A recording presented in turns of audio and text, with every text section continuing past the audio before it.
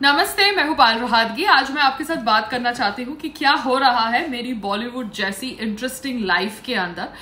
मेरे दो फोन्स मुझे अभी तक नहीं मिले हैं। वो दो फोन्स जो मेरे बैंक अकाउंट से कनेक्टेड है इनकम टैक्स डिटेल्स हैं उनके अंदर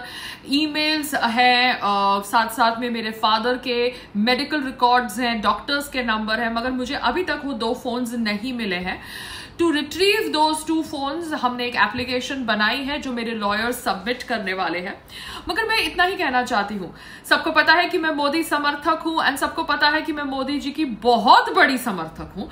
In spite of that Gujarat में भाजपा सरकार है, केंद्र में ऑब्वियसली भाजपा सरकार है, मगर Ahmedabad police did not behave in the way that they should have behaved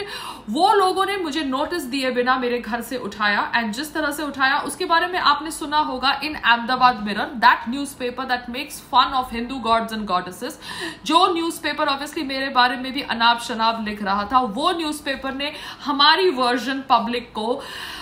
you know सुनाई। तो एक्चुअली लाइफ इज़ आयरॉनिकल जैसे बॉलीवुड में कोई दोस्त नहीं है, दुश्मन नहीं है, वैसे पॉलिटिक्स में कोई दोस्त नहीं है, दुश्मन नहीं है, वैसे मीडिया में भी कोई दोस्त नहीं है, दुश्मन नहीं है। मीडिया ने एक तरफा स्टोरी चलाई कि कैसे पायल गलत है, मगर Ahmedabad Mirror was the only newspaper that ran the story from our side by taking Sangram जीज interview तो मैं यहाँ पे इतना ही कहना चाहती हूँ कि obviously Ahmedabad police behaved in a non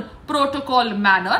मैं यहाँ पर कहती हूँ कि भारत के अंदर किसी को भी राइट है, किसी के ऊपर एफआईआर दर्ज करने का if it is following in legal categories and sections मगर जिस प्रकार से मुझे पिकअप किया गया दैट इज़ नॉट एक्सेप्टेबल मैं सोच रही थी कि मैं राम राज्य में रह रही हूँ but this looks like goonda Raj and Modi ji you need to do something about this because आप सीएम रह चुके हैं गुजरात के एंड अब आप प्राइम मिनिस्टर हैं और आज की तारीख में भी सरकार भाजपा की है। मैं डीजीपी गुजरात को मिली, उनके ऑफ़िस में संग्राम जी के साथ मैं सीपी ऑफ़ अहमदाबाद उनको मिली उनके ऑफ़िस के अंदर। मैंने रिटर्न ईमेल्स भेजे हैं to both of them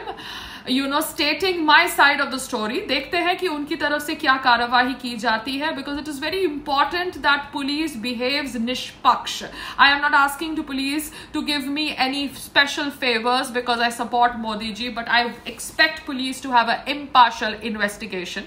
जिस प्रकार से लोकल अहमदाबाद पुलिस ने मुझे पिकअप किया that is not acceptable it was not in protocol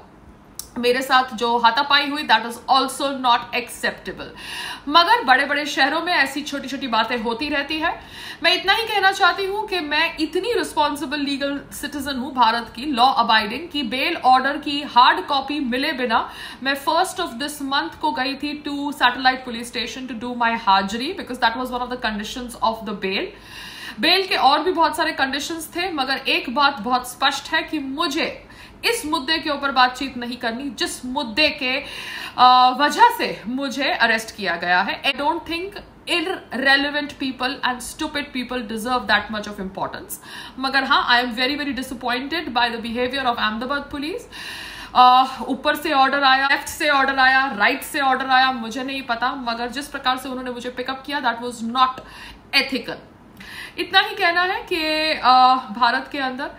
हम सबको ऑब्वियसली अपनी निजी सोच व्यक्त करने का राइट दिया है भारत के संविधान ने। And people who are very active on social media उनके साथ ये नहीं होना चाहिए। I am hoping for justice मैं चाहती हूँ कि मेरे जैसे और भी जितने लोगों के साथ ऐसा गलत बर्ताव हुआ है by police they should voice their opinions because हम चाइना में नहीं रहते हैं, हम भारत में रहते हैं। We have a right to our opinion और अगर हमारी ओपिनियंस की वजह से हमें इस तरह से साइलेंस किया जाए फ्रॉम ऊपर का orders then I don't think it is a democratic way of functioning